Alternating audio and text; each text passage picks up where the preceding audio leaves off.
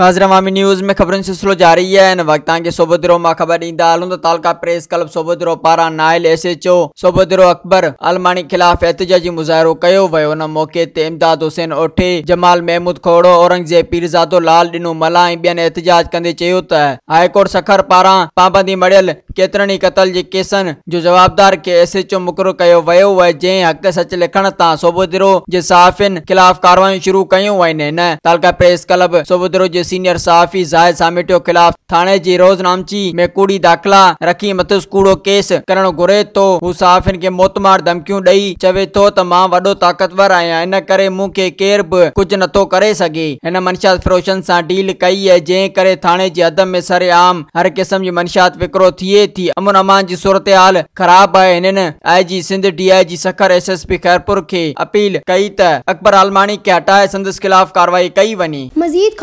तफसीत के लिए विज़िट करें हमारी website W W W dot Awami news H D dot com.